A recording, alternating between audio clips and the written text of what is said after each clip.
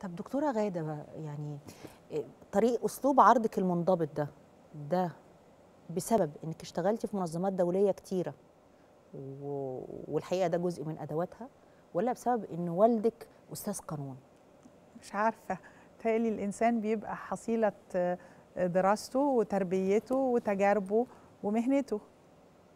يعني لو تلاحظوا كده تقول لك إيه مش عارف إيه محل الواقعه يعني في يعني عامة يعني وزراء التضامن ما ما, ما بيتكلموش بال- باللغة القانونية دي.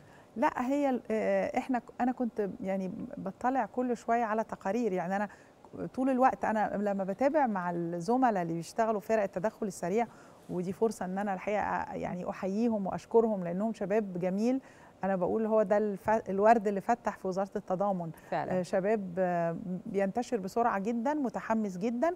وبعدين أنا ما حدش بيحكي لي حكايات. يقول لي إيه اللي بيحصل؟ ويصور لي ويبعت لي الصورة. يعني يتصوروا هم هناك مع آه، ال ال علشان كده صورة الولد مع الست اللي بتتكلم معاه في المكان. أنتوا اللي مصورينها؟ آه لا آه. هم بيصوروا ويبعتوا لي على طول. آه ما, ما ينفعش تاخدي كل الحاجات لازم. تبقى موثقة بالصورة وبال, وبال وفي المكان اللي هم فيه.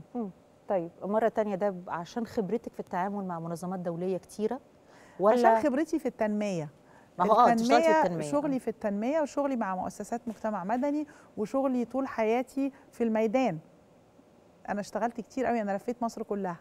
آه بس دايما بيبقى في انطباع كده إنه الوزيرات اللي, اللي خريجين مدارس لغات اللي اشتغلوا في الأمم المتحدة اللي اشتغلوا مع منظمات دولية آه يعني بيقول لك إيه مش مشمرين عن السواعد يعني هوانم شوية. لا أنا بشتغل بإيدي وبشتغل اشتغلت في الصعيد وكان عندي مكاتب دائمة في الصعيد ولفيت مصر كلها من أقصاها إلى أقصاها. طيب.